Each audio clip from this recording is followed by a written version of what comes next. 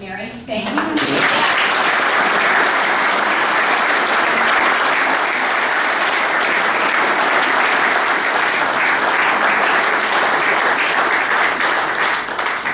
I just want to say, number one, thank you, Governor, for this. Thank you for being here tonight. Thank you for the message, and mainly, thank you for your leadership of Iowa. And same back to you, Kim Reynolds. Yeah. Thank you for this leadership that you have of Iowa, and it's been just a pleasure to know you these last number of years together, serving together. So I, I am just amazed that you're all out here today. It's a beautiful spring day in Iowa. I know you have dozens of places that you could be. You're here tonight.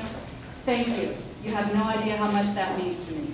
And I also want to thank Republican Party of Iowa for hosting this event. Um, This was the easiest event I've ever been to.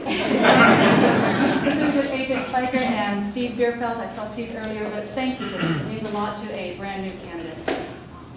I gotta also point out, my family is here. My parents are here, my husband is here. These are not really politically active people, but their support, their support could not, I could not do it without their support. So thanks, parents, for coming to this. Danny, you're kind of used to this at this point in time. so. Better get more used to Yeah, it. yeah. You girls will stay on Right. as as I. I wouldn't want to take him on, right? I did just want to, um, just, number one, say it's an awesome responsibility to be in the auditors of state offices. This, I, Dick Johnson is here today, he stopped into the office today, his former place of business, and it's just been an honor to have the time to visit with you today, Mr. Johnson, and the level of professionalism that he brought to that office that has been championed by Dave Vaudt. I am just truly honored to continue that level of excellence.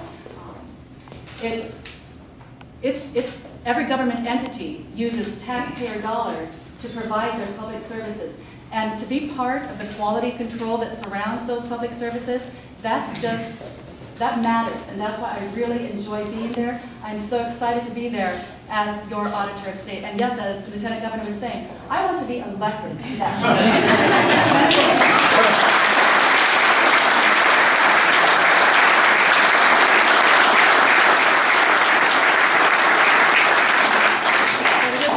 It is a out there. I appreciate the people who traveled to come here. There's a couple of county auditors, I'm not sure if they stuck around here, but they traveled a distance to make it here because they also appreciate um, what it means to be a public servant, and they know that it's a big state out there. So yes, I'm looking forward to going to the different counties, to meeting the people of the counties, and to serve the people of Iowa, not just, not just Republicans, not just Democrats, everybody of Iowa, because again, it's all of the taxpayer dollars that go into the public services. So thank you again for being here. Thank you, Governor. Thank you, Lieutenant Governor. Thank you, RPI, and everybody for coming out tonight. So enjoy.